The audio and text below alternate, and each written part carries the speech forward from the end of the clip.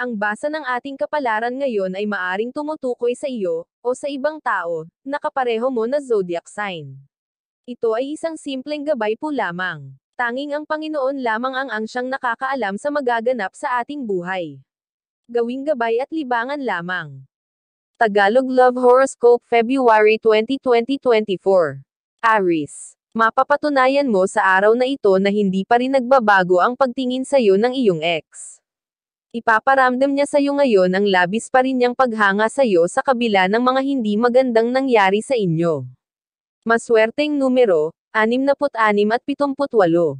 Taurus. Kapupulutan mo ng aral ang katatapos nyo lang na relasyon. Simula sa araw na ito ay paiiralan mo na sa buhay ang mga aral na nakuha mo mula rito. Dahil ayaw mo nang magkamali pa sa susunod kaya magiging maingat ka na. Maswerteng numero, 35 at 43. Gemini. Hindi mo inaasahan ang mangyayari sa araw na ito. Sa isang dadaluhang event ay makikita mo ang isang tao na matagal mo nang hinahanap. Siya ang tao na nagpapatibok sa puso mo hanggang ngayon na bigla na lang nawala noon.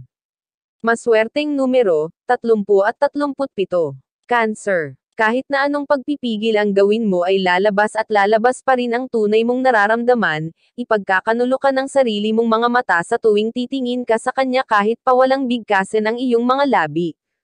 Maswerteng numero, 6 at 7. Leo, mainis ka lang pero hindi mo pa rin mababago ang attitude ng iyong kapareha.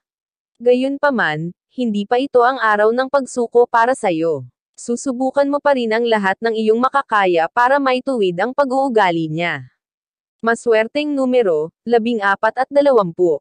Virgo, may makikilala ka sa online na magpapangiti at magpapakilig sa'yo. Pero alam mo naman na masyado pang maaga para mag-assume ng pag-ibig. Kaya naman hahayaan mo na lang muna kung saan ito mapunta. Maswerteng numero, 11 at 17. Libra, ang lubos mong pagtitiwala sa iyong mahal ay maaabuso niya ngayong araw. Magiging dahilan ito ng sama ng loob mo sa kanya. Gayunpaman, hindi mo gugustuhin na maapektuhan sa hindi nyo pagkakaintindihan ang inyong anak.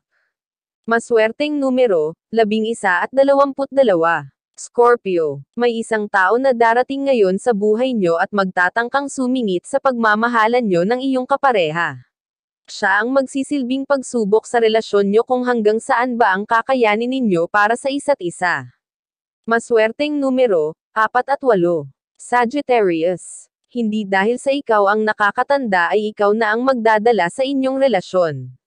Kahit mas bata siya sa iyo ay hindi mo inaasahan kung paano siya mag-isip na mas matured pa kaysa sa iyo kaya hindi mo siya may kukumpara sa iba. Maswerteng numero, 25 at 32. Capricorn. Alam mo na hindi mo na siya maaaring mahalin. Pero sadyang may katigasan ang ulo mo, kahit pag-aari na siya you. Magtataka ka sa bigla ang pagbabago ng ihip ng hangin sa pagitan nyo ng iyong mahal. Sa pagkakaalam mo kasi ay wala naman kayong pinag-awayan o bagay na hindi pinagkasunduan kaya maninabago ka sa pag-iwas niya.